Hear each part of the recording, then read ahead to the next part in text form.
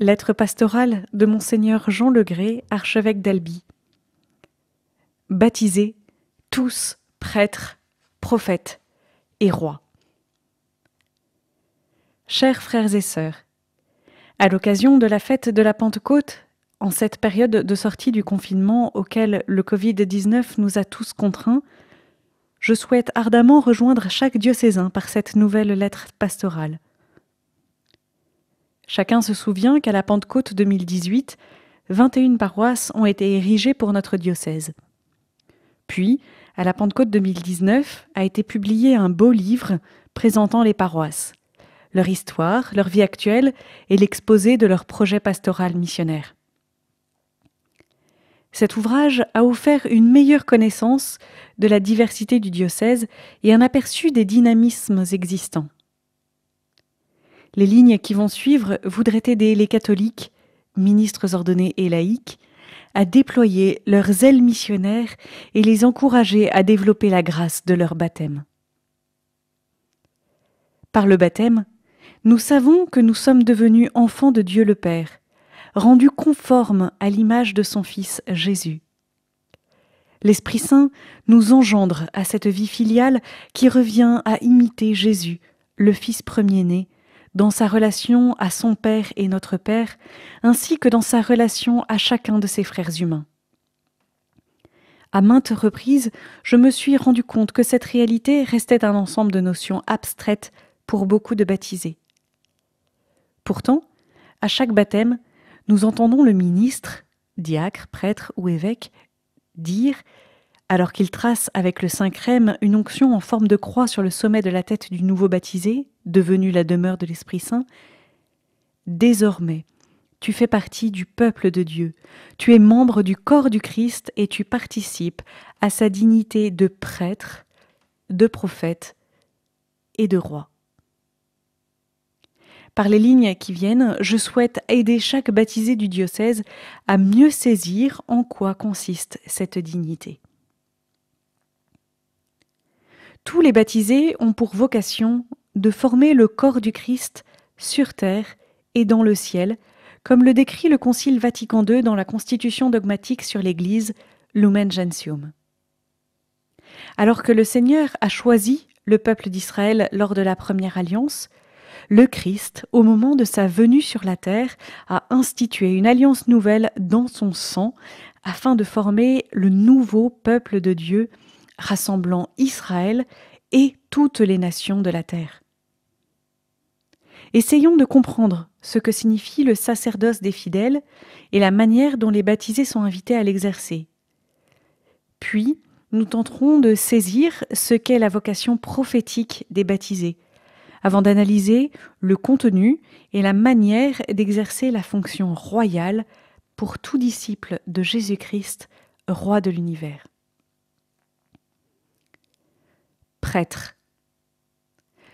Le sacerdoce du Seigneur Jésus consiste à s'offrir lui-même.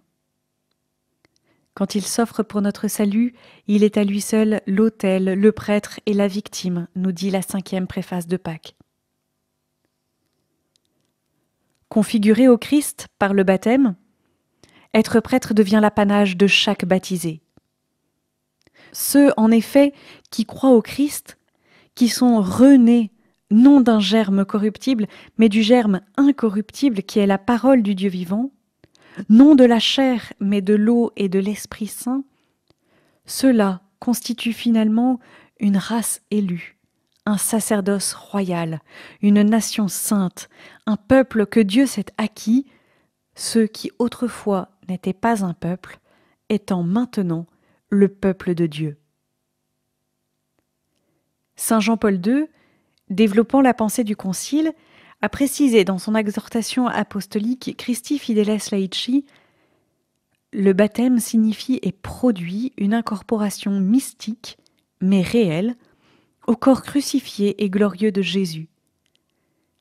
Par le moyen du sacrement, Jésus unit le baptisé à sa mort pour l'unir à sa résurrection le dépouille du vieil homme et le revêt de l'homme nouveau, c'est-à-dire de lui-même. Déjà, dans sa première épître, l'apôtre Pierre, s'adressant aux baptisés, écrivait Soyez les pierres vivantes qui servent à construire le temple spirituel, et vous serez le sacerdoce saint, présentant des offrandes spirituelles que Dieu pourra accepter à cause du Christ Jésus. Saint Jean-Paul II décrit avec précision le sacerdoce commun des fidèles dans la même exhortation. Les fidèles laïcs participent à l'office sacerdotal par lequel Jésus s'est offert lui-même sur la croix et continue encore à s'offrir dans la célébration de l'Eucharistie à la gloire du Père pour le salut de l'humanité. Incorporés à Jésus-Christ, les baptisés sont unis à lui et à son sacrifice par l'offrande d'eux-mêmes et de toutes leurs activités. Parlant des fidèles laïcs, le Concile déclare toutes leurs activités, leurs prières, leurs entreprises apostoliques, leur vie conjugale et familiale, leur labeur quotidien, leur détente d'esprit et de corps, s'ils sont vécus dans l'Esprit de Dieu, et même les épreuves de la vie, pourvu qu'elles soient patiemment supportées, tout cela devient offrande spirituelle agréable à Dieu par Jésus-Christ. Et dans la célébration eucharistique, ces offrandes rejoignent l'oblation du corps du Seigneur pour être offertes en toute piété au Père. C'est ainsi que les laïcs consacrent à Dieu le monde lui-même, rendant partout à Dieu, dans la sainteté de leur vie, un culte d'adoration. Ainsi, il est clair qu'il ne s'agit pas pour les fidèles laïcs d'imiter tel ou tel aspect des activités d'un ministre ordonné. Comme le prêtre dans l'Ancienne Alliance est celui qui offre au temple le sacrifice, l'office sacerdotal de chaque baptisé consiste d'abord et avant tout dans l'offrande de toute son existence en union avec le Christ. Par le baptême, nous sommes devenus enfants de Dieu, appelés à vivre à la manière du Fils premier-né, le Christ, en imitant donc son obéissance au Père jusque dans sa passion et sa mort sur une croix. Jésus est le grand prêtre parfait, qui, par son offrande, a obtenu pour l'humanité une libération définitive. Par son unique offrande, il a mené pour toujours à leur perfection ceux qu'il sanctifie, nous dit la lettre aux Hébreux. C'est l'Esprit Saint, obtenu en faveur des croyants par la Pâque du Christ, qui les rend capables d'entrer dans ses sentiments et d'offrir à leur tour leur vie au Père en union avec lui et comme lui. Cet acte d'offrande, auquel chaque baptisé est appelé, embrasse tous les aspects de son existence. Il se vit dans la prière et il culmine dans une participation active à chaque Eucharistie, spécialement lors de l'Eucharistie dominicale. Nous lisons dans Lumen Gentium Participant au sacrifice eucharistique, source et sommet de toute la vie chrétienne, les fidèles offrent à Dieu la victime divine et s'offrent eux-mêmes avec elle. Ainsi, tant par l'oblation que par la sainte communion, tous, non pas indifféremment, mais chacun à sa manière, prennent une part originale dans l'action liturgique.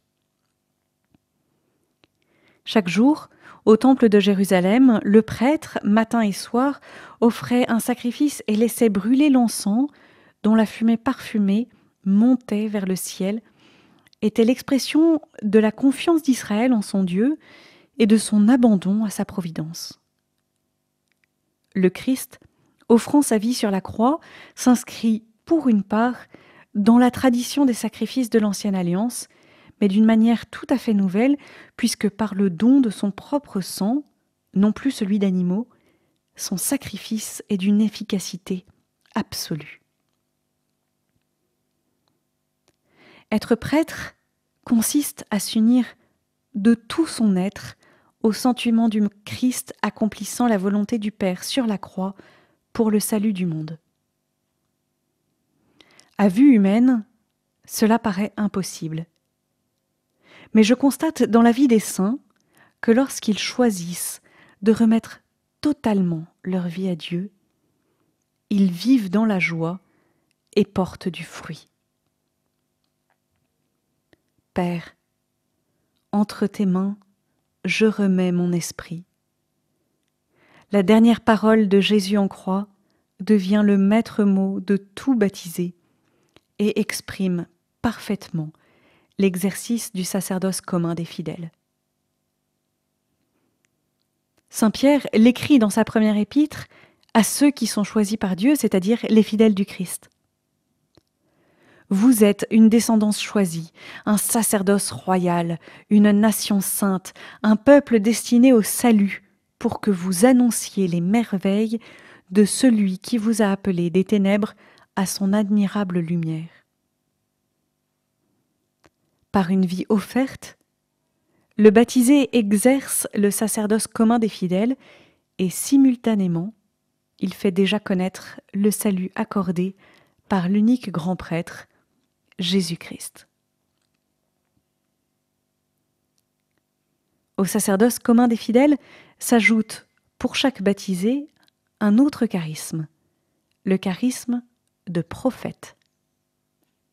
Un charisme est toujours une grâce communiquée par le Seigneur à une personne en vue de l'édification du corps entier de l'Église.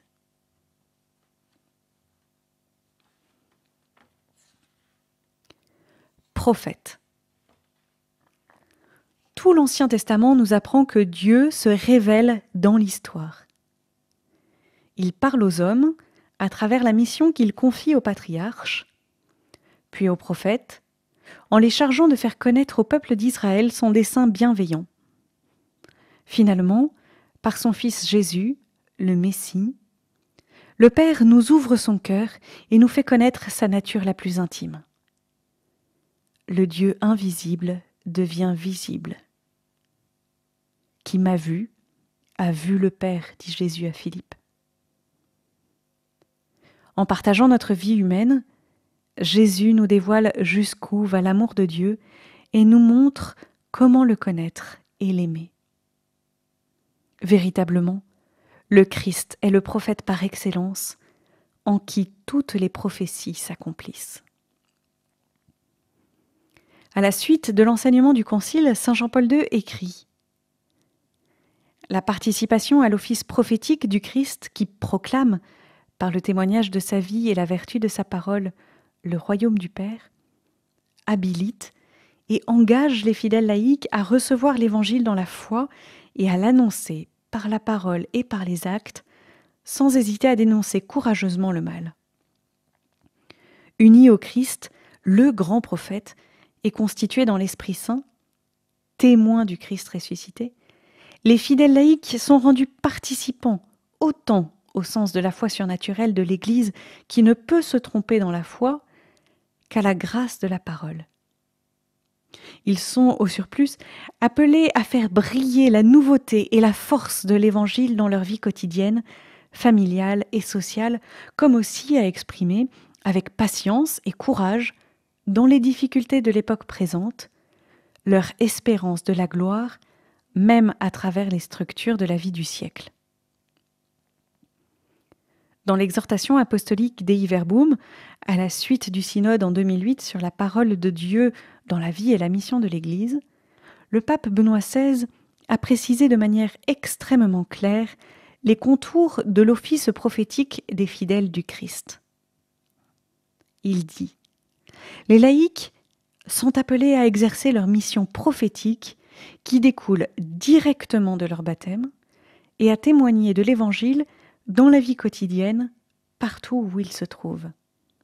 À ce propos, les pères synodaux ont exprimé la plus vive estime, la reconnaissance et les encouragements pour le service de l'évangélisation que tant de laïcs, en particulier les femmes, offrent avec générosité et esprit d'engagement dans les communautés dispersées à travers le monde, à l'exemple de Marie-Madeleine, premier témoin de la joie pascale.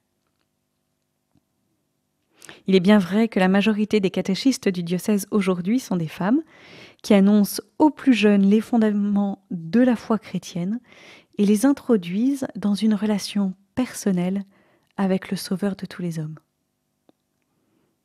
N'est-ce pas autant aux hommes qu'aux femmes? Que revient d'avoir le courage d'annoncer le mystère du salut, aussi bien dans la vie ecclésiale que hors des frontières de l'Église, dans les différents rouages de la société civile?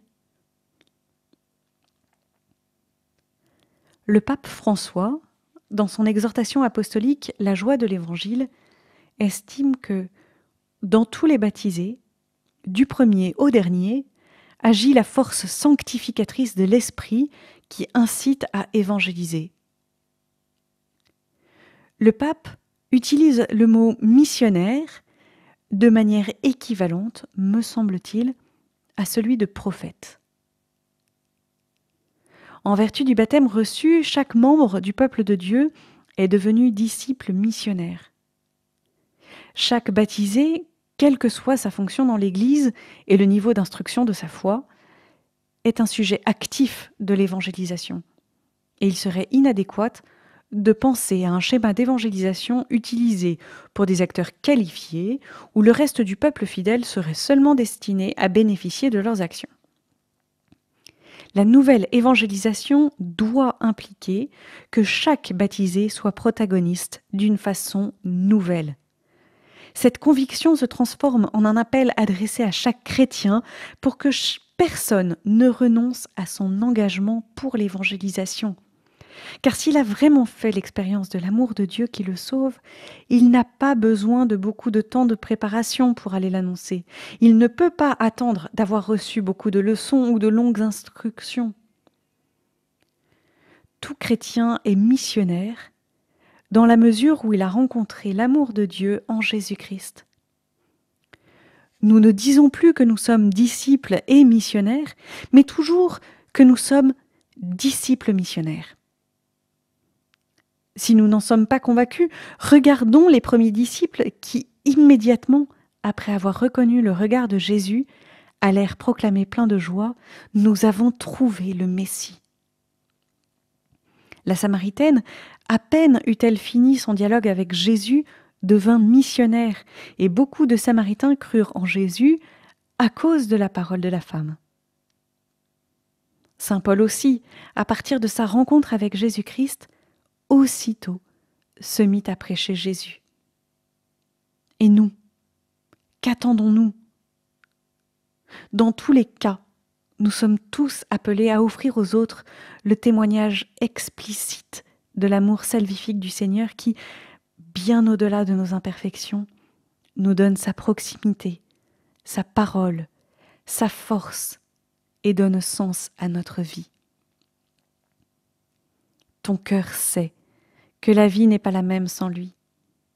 Alors, ce que tu as découvert, ce qui t'aide à vivre et te donne une espérance, c'est cela que tu dois communiquer aux autres. Notre imperfection ne doit pas être une excuse. Au contraire, la mission est un stimulant constant pour ne pas s'installer dans la médiocrité et pour continuer à grandir le témoignage de foi que tout chrétien est appelé à donner implique d'affirmer, comme Saint Paul, non que je sois déjà au but ni déjà devenu parfait, mais je poursuis ma course et je cours vers le but. L'annonce prophétique du message évangélique est inséparable de sa mise en œuvre dans une vie de service qui est l'office royal roi. Il est important de rappeler que dans la tradition biblique, le seul roi est le Seigneur. Quand Israël demande à avoir un roi, à l'instar des nations qui l'entourent, ne voulant plus se contenter d'être dirigé par des juges, Samuel acquiesça à son désir sur l'ordre du Seigneur lui-même. Cependant, le peuple fut averti des inconvénients de la royauté, en particulier des droits du roi sur le peuple. Si l'avènement de la royauté est permis par le Seigneur, cela correspond d'une part à un certain abandon par le peuple de ce Dieu qui les a rassemblés en un peuple particulier et guidés depuis la sortie d'Égypte, et d'autre part, à la préparation lointaine de la figure royale du Messie. Le Seigneur demeure le roi d'Israël. Le roi sera son lieutenant. Sa charge l'oblige à prendre soin de chaque membre du peuple, comme le Seigneur, qui veille toujours sur chacun des siens, du plus petit, du plus humble, au plus puissant. Si la royauté en Israël a connu bien des vicissitudes, sur le visage de certains rois comme David ou Salomon apparaissent déjà les traits du roi Messie que sera Jésus-Christ, roi d'Israël, dont le trône sera la croix, où il accomplit en plénitude son office royal, livrant sa vie pour que tous aient la vie. Saint Jean-Paul II, dont Christi Fideles Laici, rappelle à chaque baptisé la signification et la manière d'exercer la fonction royale à la suite de Jésus. Par leur appartenance au Christ, Seigneur et Roi de l'univers, les fidèles laïcs participent à son office royal et sont appelés par lui au service du royaume de Dieu et à sa diffusion dans l'histoire. Ils vivent la royauté chrétienne tout d'abord par le combat spirituel qu'ils mènent pour détruire en eux le règne du péché, et ensuite par le don d'eux-mêmes pour servir, dans la charité et dans la justice, Jésus lui-même, présent en tous ses frères, surtout dans les plus petits. Par ailleurs, le saint pape Jean-Paul II ajoute que ce service royal doit s'exercer non seulement sur les personnes, mais aussi sur la création. Les fidèles laïcs sont appelés en particulier à redonner à la création toute sa valeur originelle. En liant la création au bien véritable de l'homme par une activité soutenue par la vie de la grâce, il participe à l'exercice du pouvoir par lequel Jésus ressuscité attire à lui toutes les choses et les soumet en même temps qu'il se soumet lui-même au Père, de sorte que Dieu soit tout en tous. Dans Laudato Si, l'encyclique du pape François sur la sauvegarde de la maison commune, nous pouvons lire L'environnement est un bien collectif, patrimoine de toute l'humanité sous la responsabilité de tous. Celui qui s'approprie quelque chose, c'est seulement pour l'administrer pour le bien de tous. Si nous ne le faisons pas, nous chargeons notre conscience du poids de nier l'existence des autres. L'office royal du baptisé conduit chacun à se mettre au service de tout prochain en l'exerçant de manière réelle par des actes de charité à la manière du Christ lavant les pieds de ses disciples, manifestant sa compassion à l'égard des malades, des personnes éprouvées, des enfants, des pécheurs, du larron. Le service des petits et des pauvres, à la manière de Jésus, constitue la vocation royale des baptisés confirmés. Allez donc, de toutes les nations, faites des disciples. Les lignes suivantes de Saint Jean-Paul II nous permettent de prendre plus vivement conscience de notre identité de baptisé afin de mieux participer à la sanctification du monde et à son évangélisation. La participation des laïcs à la triple fonction de Jésus, prêtre, prophète et roi, trouve d'abord sa racine dans l'onction du baptême, puis son développement dans la confirmation et son achèvement et son soutien dans l'Eucharistie. C'est une participation qui est donnée, il est vrai, à chaque fidèle laïque, mais en tant qu'il forme l'unique corps du Christ. En effet, Jésus enrichit de ses dons l'Église elle-même, parce que l'Église est son corps et son épouse. Ainsi, c'est en tant que membre de l'Église que chacun participe à la triple fonction du Christ, comme l'enseigne clairement l'apôtre Pierre. Il appelle en effet les baptisés la race choisie, le sacerdoce royal, la nation sainte, le peuple qui appartient à Dieu. Et c'est justement parce qu'elle découle de la communion ecclésiale que cette participation des fidèles laïcs à la triple fonction du Christ exige d'être vécue et réalisée dans la communion et pour la croissance de cette communion même. Saint Augustin écrit De même que nous nous appelons tous chrétiens, christiani, en raison de l'onction, chrisma, de même, nous nous appelons tous prêtres parce que nous sommes membres de l'unique prêtre. La grâce du baptême et de la confirmation fait de tout fidèle un enfant de Dieu par la puissance du Saint-Esprit, un autre Christ dont la vocation est de suivre l'exemple du Fils premier-né, Jésus. En lui, le sacerdoce trouve sa plénitude, les prophéties leur accomplissement, et la royauté sa perfection. Par grâce, c'est-à-dire de manière absolument gratuite, sans mérite de sa part, il devient possible pour toute personne qui place sa confiance en Jésus-Christ et qui reçoit les sacrements de l'initiation, baptême, confirmation, Eucharistie, de mener une vie filiale comportant ces trois offices que le Sauveur a vécu pleinement. La vocation baptismale, souvent mal connue des baptisés eux-mêmes, est source de joie et de gratitude. Cette participation à l'offrande du Christ à l'annonce de son salut et au service de tout prochain, développe le bonheur de croire et permet d'assumer sa responsabilité personnelle dans la croissance du royaume. Pour sortir d'un certain cléricalisme étouffant et peu respectueux des baptisés, comme nous y invite souvent le pape François, les fidèles laïcs sont appelés à vivre à fond la grâce de leur baptême. Chacun, selon ses dons naturels et selon les grâces qui sont les siennes, est invité à participer à la mission de l'Église sans crainte et toujours avec humilité. Il s'agit vraiment d'être une cellule vivante du corps du Christ visible aujourd'hui, c'est-à-dire l'Église. Une des plus sérieuses tentations qui étouffe la ferveur et l'audace, est le sens de l'échec, qui nous transforme en pessimistes mécontents et déçus, au visage assombri. Personne ne peut engager une bataille si auparavant il n'espère pas pleinement la victoire.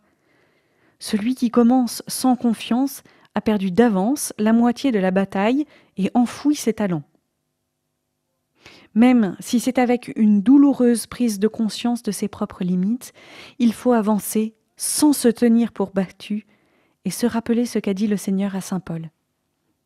Ma grâce te suffit, car ma puissance se déploie dans la faiblesse.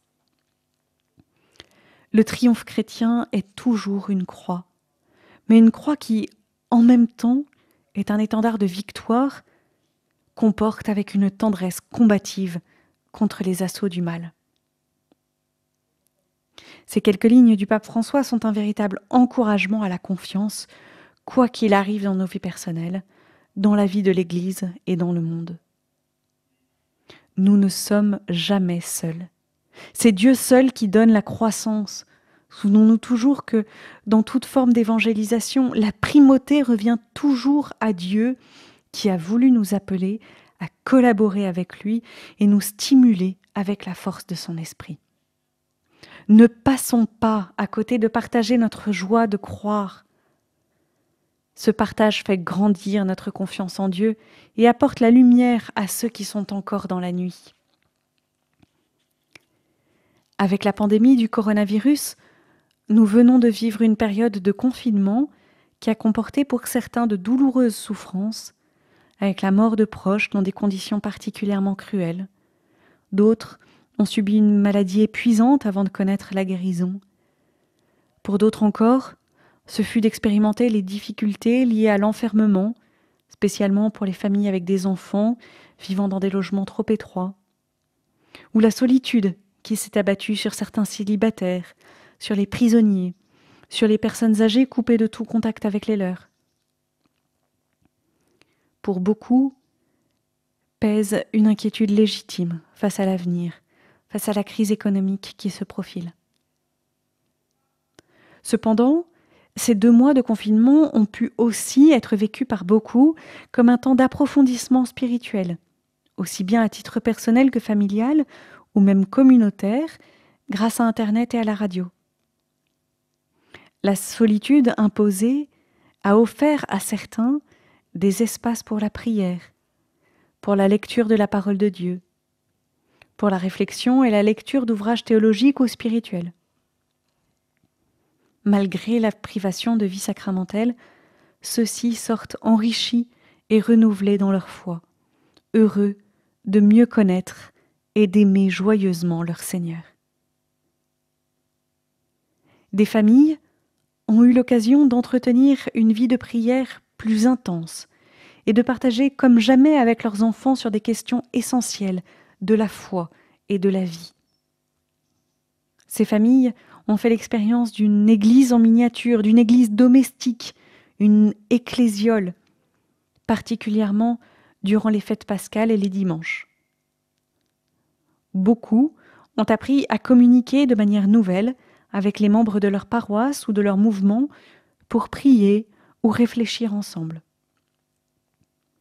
Dans l'avenir proche, il sera indispensable de répertorier et de développer ces pratiques positives pour le bien et la vitalité missionnaire de tous les chercheurs de Dieu.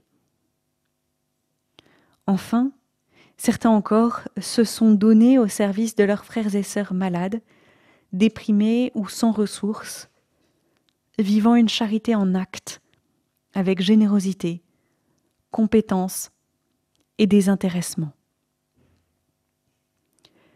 Dans le Nouveau Testament, au moins deux moments de confinement rapportés dans les actes des apôtres peuvent être source d'enseignement pour le temps que nous avons à vivre maintenant. En premier lieu, au lendemain de l'ascension du Seigneur, il y a ces longs moments passés à la chambre haute avec quelques femmes dont Marie, mère de Jésus, où les apôtres étaient assidus à la prière dans l'attente de la venue de l'Esprit. Cette préparation à accueillir le Paraclet qui, de manière extraordinaire, va transformer des hommes timorés en martyrs jusqu'au don sanglant de leur vie, demeure normative aujourd'hui comme à l'époque apostolique. La nouvelle évangélisation suppose nécessairement une nouvelle Pentecôte. Avec Marie comme mère, les croyants doivent toujours commencer par laisser l'Esprit Saint les renouveler dans une relation personnelle d'intimité avec le Seigneur. S'il était possible qu'au sortir d'un temps de prière communautaire, on puisse dire de nous Ils sont pleins de vin doux. Sans nul doute, l'auditoire actuel prêt à entendre les merveilles de Dieu s'élargirait. Le second moment de sortie de confinement qui peut orienter notre propre sortie de la période récente de pandémie est le récit de la libération miraculeuse de Paul et Silas, emprisonnés à Philippe.